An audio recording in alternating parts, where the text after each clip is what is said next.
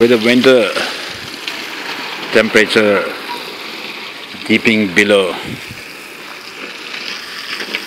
uh, 3 degrees Celsius, I think it's high time I start preparing for the solar.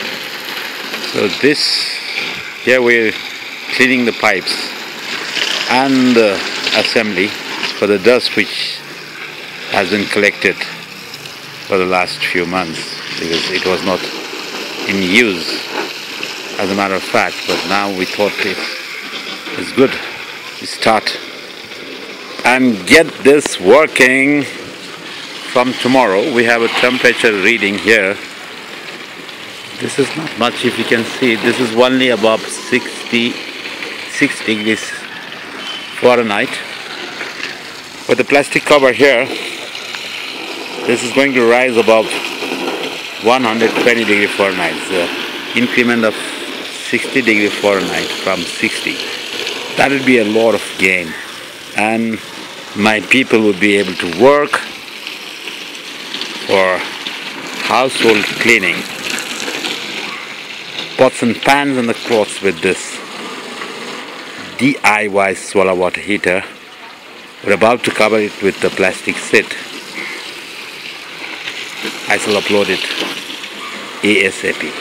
The complete solar panel with the plastic cover after the cleaning of the dirt which has been collected. Plastic seat preparation work in progress.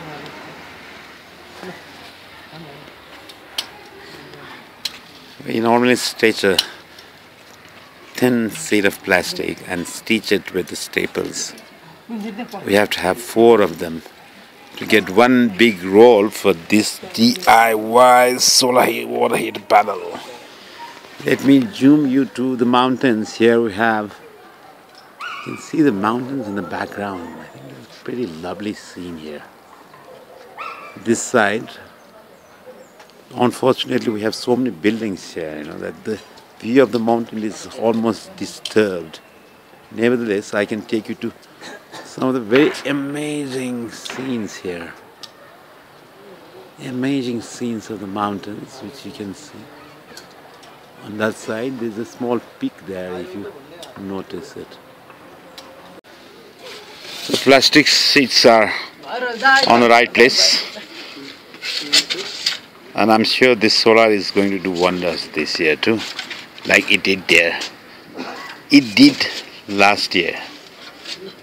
Amazing DIY solar. Innovative passive solar water heater. Ready for operation for this winter in Kathmandu. Wait and watch for it results and the new episodes of DIY solar water heater. Bye for now.